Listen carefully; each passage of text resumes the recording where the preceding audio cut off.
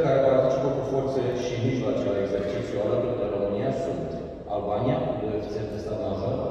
Bulgaria, cu o fregată, un maritim și ofițer de stat major,